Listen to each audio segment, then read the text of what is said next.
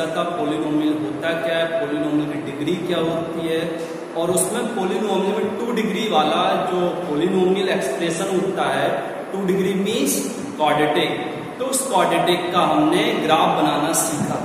Concave up concave down graph Y axis को origin से कितने डिस्टेंस पर इंटरसेक्ट करता है ऑरिजिन के एवब इंटरसेक्ट करता है ब्लू इंटरसेक्ट करता है, वो कौन बताता है? सी का साइन बताता है।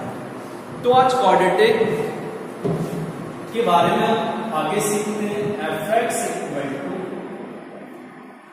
X square plus B X plus C तो लास्ट क्लास में हमने सीखा था कि कोई भी पोलिनोमियल हो उस पोलिनोमियल का जितना हाईएस्ट पावर होता है, वो उसका डिग्री कहलाता है। तो यहाँ पर टू डिग्री वाला पोलिनोमियल है क्योंकि एक्स का हाईएस्ट पावर टू है। तो इसलिए टू डिग्री वाला पोलिनोमियल है। समझ में आ गया? अब इसमें जब टू डिग्री वाला है तो इसमें हाईएस्ट जीरोज इसके टू रहेंगे। अब उन जीरोज को हम एल्फा बीटा से डिनोट करते हैं एल्फा एंड बीटा क्योंकि टू डिग्री वाला पोलिनोमियल है क्वाड्रेटिक है, इसका हाईएस्ट डिग्री टू है, इसलिए इसका जीरोज हाईएस्ट ज़ीरो टू रहेंगे अल्फ़ा एंड बीटा। समझ में आ गया? अब आगे देखते हैं। सबसे पहले बताइए, जीरोज का मतलब क्या होता है? जीरोज का मीनिंग क्या है? जीरोज का मीनिंग ये होता है कि x की ऐसी वैल्यू जो उस पोलिनोमियल एक्सप्रेशन में या टू डिग्री वाले या थ्री डिग्री वाले, जितने डिग्री वाला पोलिनोमियल हो, x की वो सारी वैल्यू या वो वो वैल्यू जो उसमें पोलिनोमियल में पुट करते हैं और पोलिनोमियल को सेटिस्फाइड करे। सेटिस्फाइड का मतलब x की जिन जिन वैल्यू के लिए पोलिनोमियल की वैल्यू ज़ीरो हो रही है, वो सारे उसके जीरोज कहलाते हैं। तो जीरोज के अकॉर्डिंग ज़ीरो निकाल मतलब एक्स की उन वैल्यू को ज़ीरो हम कहते हैं, जो वैल्यू पोलिनोमियल पुट करते हैं ज़ीरो आंसर दे देते हैं। तो वो उस पोलिनोमियल एक्सप्रेशन के ज़ीरो यहाँ पर टू डिग्री पोलिनोमियल की दो ज़ीरो होंगे अल्फ़ा और बीटा समझ में आ गया? अब यहाँ पर अल्फ़ा बीटा में कुछ रिलेशन हम सीखते हैं। Alpha plus beta equal to formula होता है माइनस बी अपॉन और alpha into beta equal to formula होता है ये हम आगे वाली क्लास में सीखेंगे कि क्वाड्रेटिक पोलिनोमियल जो भी होता है, उस पोलिनोमियल के ज़ीरो यदि अल्फ़ा बीटा है तो alpha plus beta equal to minus B upon कैसे आता है? और alpha into beta C upon कैसे आता है? तो अल्फ़ा बीटा इसके ज़ीरो अब आपको पता है कि इसके ज़ीरो निकालना भी पॉसिबल है नहीं? क्योंकि ज़ीरो जिसके अल्फ़ा बीटा है तो अल्फ़ा पुट करेंगे, ज़ीरो आने का बीटा पुट करेंगे, ज़ीरो आने का मतलब यहाँ पर हम कंसीडर कर रहे हैं। इसके जो भी ज़ीरो होंगे उन्हें अल्फ़ा और बीटा से डिनोट करते हैं समझ में आ गया? कोई प्रॉब्लम तो जब भी क्वाड्रेटिक के दो ज़ीरो अल्फ़ा और बीटा है तो alpha plus beta minus B upon A और alpha into beta C upon A होता है। अब इसमें कुछ वैल्यू हम फाइंड करना सीखते find first alpha square plus beta second alpha minus third alpha cube plus beta इन वैल्यू को हम फाइंड करना सीखते हैं। जब भी कोई क्वाड्रेटिक हमें गिवन होता है तो उस क्वाड्रेटिक के रूट अल्फ़ा बीटा है तो अल्फ़ा बीटा की फॉर्म इस टाइप के एक्सप्रेशन को वो फाइंड करने के लिए कैसे? तो इस टाइप इस टाइप के एक्सप्रेशन को फाइंड करने के लिए कुछ आइडेंटिटी आपको पता होनी चाहिए। या इसको इस तरीके से हम सीख सकते हैं कि जब भी अल्फ़ा और बीटा के फॉर्म में कोई एक्सप्रेशन हमें गिवन है, जिसकी वैल्यू हमें फाइंड करनी है तो वहाँ पर इस बात को हमेशा याद रखना है कि पूरे ही एक्सप्रेशन में आपके टर्म या तो अल्फ़ा प्लस बीटा की फॉर्म में रहेंगे अल्फ़ा इंटू बीटा इसके अलावा तीसरा कोई फॉर्म नहीं होना चाहिए। क्योंकि इसका रीजन है कि हमें कोई क्वाड्रेटिक गिवन होता है, उसमें कुछ अल्फ़ा बीटा है तो alpha plus beta alpha into beta की वैल्यू ही हमें पता रहती है। इससे हमें alpha plus beta alpha into beta की वैल्यू ही मिलेगी। इसलिए अल्फ़ा बीटा की फॉर्म में जो भी एक्सप्रेशन गिवन होता है, उस एक्सप्रेशन के हर एक टर्म को या उस एक्सप्रेशन को पूरे एक्सप्रेशन को इस तरीके से हम चेंज करते हैं कि वहाँ पर या तो अल्फ़ा प्लस बीटा दिखाई दे या अल्फ़ा इंटू बीटा क्योंकि ये एक्सप्रेशन इस फॉर्म में alpha plus beta alpha into beta की फॉर्म में हो जाएगा। तो वहाँ पर ये वैल्यू हम पुट कर समझ में आ गया? आगे देखिए। तो यहाँ पर ये देखना है alpha square plus beta square की वैल्यू क्या है? अल्फ़ा प्लस बीटा का स्क्वायर माइनस टू अल्फ़ा तो जब भी alpha square plus beta square को फाइंड करने के लिए कहें तो उसको हम ऐसा लेते किसी भी एक्सप्रेशन में है तो उसको ऐसा अल्फ़ा माइनस बीटा फाइंड करने की ऐसे मॉड होता है। तो चाहे ऐसा रहे अल्फ़ा प्लस बीटा हो या alpha minus beta minus alpha या ऐसा भी दोनों ही केसेस में ऐसे root over alpha plus beta का होल स्क्वायर माइनस फोर तो जब भी हमें अल्फ़ा माइनस बीटा या बीटा माइनस अल्फ़ा की वैल्यू फाइंड करनी है तो उसे इस तरीके से चेंज करके फाइंड कर सकते alpha cube plus beta cube इसके लिए फॉर्मूला होता है प्लस बीटा का whole cube minus three alpha beta तो इन तीनों टाइप की वैल्यू फाइंड करने के लिए हमें alpha square plus beta square को alpha plus beta minus two alpha beta लिखेंगे। Alpha minus beta beta minus alpha को root over alpha plus beta का whole square minus four alpha beta alpha cube plus beta cube को alpha plus beta का whole cube minus three alpha beta bracket में alpha plus beta तो इन identity को एक बार अच्छे से देख लो।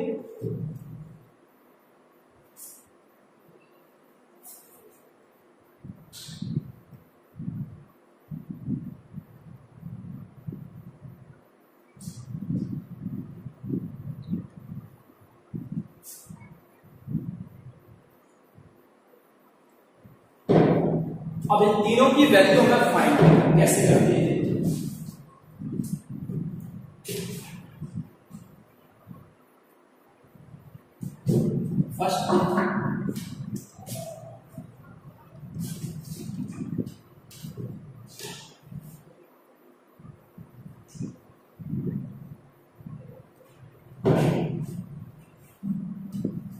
फ़र्स्ट क्या फाइंड करना है अल्फ़ा स्क्वायर प्लस बीटा इसको क्या लिखा था हमने alpha plus beta whole square और माइनस टू अल्फ़ा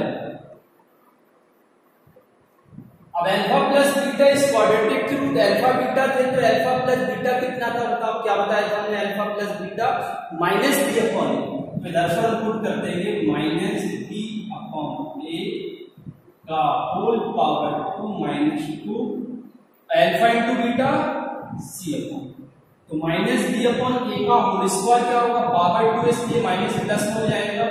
इधर आएगा B square upon A square minus two C upon तो ए स्क्वायर इसमें ऐसे ले तो B square minus two C तो alpha square plus beta square जब भी किसी एक्सप्रेशन में आए सॉल्व करते समय तो उसको इस तरीके से लिखकर हम वैल्यू फाइंड कर सकते अब दूसरा क्या फाइंड करना है? अल्फ़ा माइनस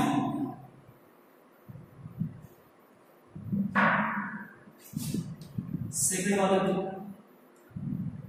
अल्फ़ा माइनस इसकी वैल्यू तो इसको क्या हमने सीखा था? अल्फ़ा प्लस बीटा का whole square minus four alpha beta तो अल्फ़ा प्लस बीटा का whole square alpha plus beta कितना है?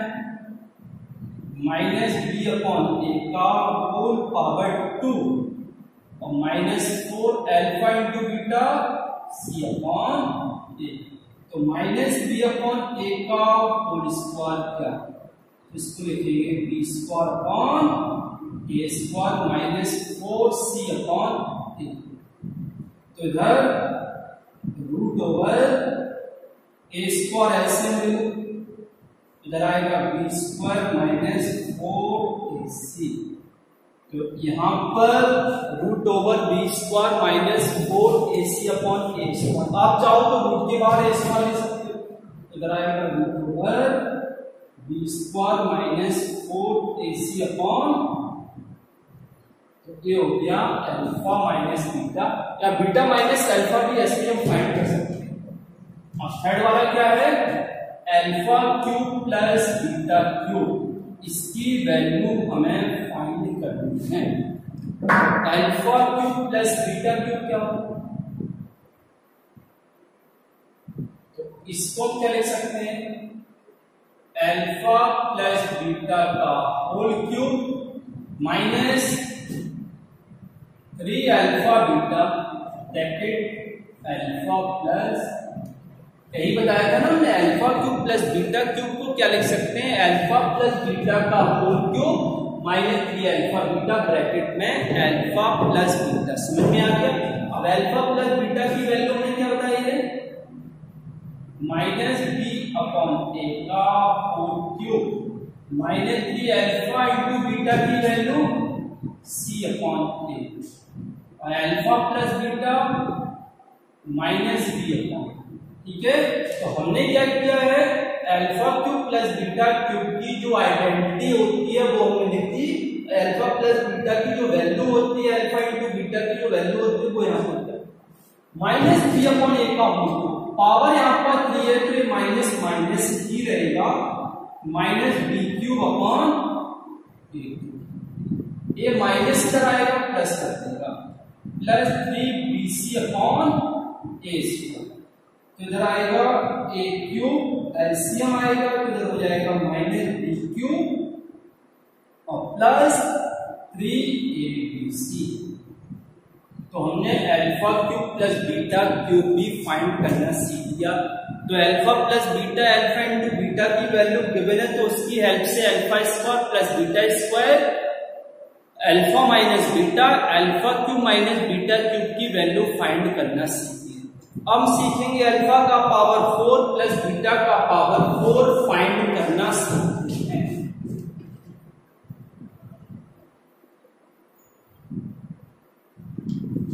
कैसे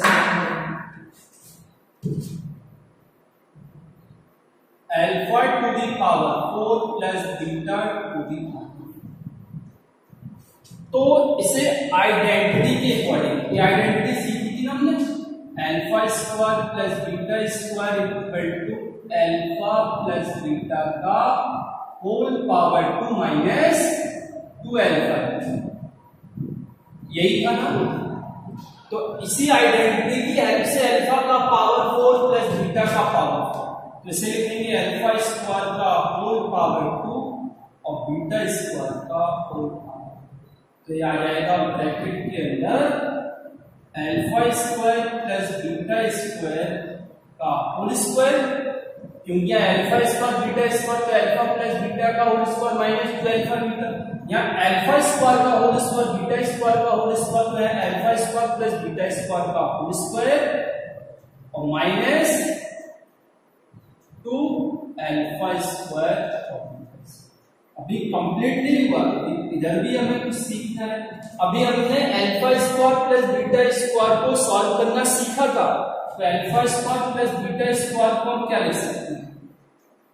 ये तो लिखा है, इधर अल्फ़ा प्लस बीटा का whole square minus two alpha beta का होल पावर टू क्योंकि यहाँ पर पावर होल पावर टू था तो हमने इसको लिखा है। और इसके लिखने का फॉर्मेट किया जो होल पावर टू था तो होल पावर टू जैसा था वैसा था। लगभग minus two alpha square beta square two alpha beta का अब देखिए जो हमें एल्फा का पावर फोर प्लस बीटा का पावर फोर फाइंड करना था तो उस पूरे फॉर्मेट को हमने alpha plus beta alpha into beta की फॉर्म में कन्वर्ट कर दिया। तो यहाँ पर एल्फा प्लस बीटा की वैल्यू कितनी है? माइनस बी अपॉन ए का whole power two minus two c upon a whole power minus two इधर पर सी अपॉन समझ में आ गया? तो ये माइनस बी अपॉन ए का होल पावर टू क्या होगा? B square upon a square और minus two c upon a का whole power two minus two c square upon समझ में आ गया? हमने क्या किया? कुछ नहीं किया है। Alpha plus beta alpha into beta की वैल्यू पुट करती अब आगे देखिए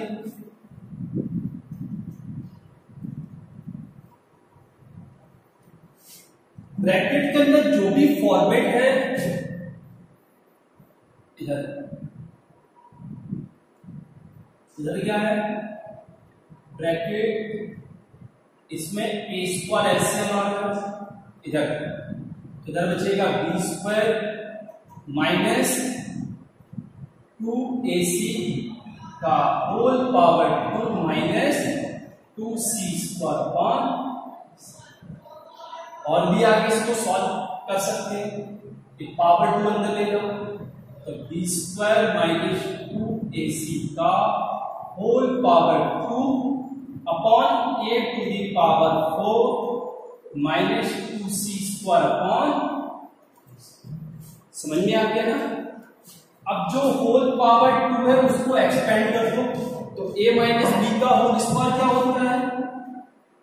यहाँ पर एलसीएम ले लो। A to the power four इधर आएगा बी का power four plus four a square c square और माइनस क्योंकि ए माइनस बी का whole square a square plus b square minus two a b होता है तो minus two a into b तो जब इन दोनों का इंटू करेंगे तो two a b square c और टू का इंटू है। Minus two a into b और माइनस इधर ए स्क्वायर ए का पावर फोर एलसीएम लिया था तो इधर क्या जाएगा ऊपर? ए स्क्वायर सिक्स तो इधर आएगा b to the power four अब इन दोनों का सॉल्व होगा plus two a square c square इधर आएगा minus four a b square c upon a to the power four तो क्वेश्चन समझ में आ गया? Alpha to the power four plus beta to the power four की value हमने find करना सीख तो आपकी बुक में अल्फ़ा बीटा की फॉर्म में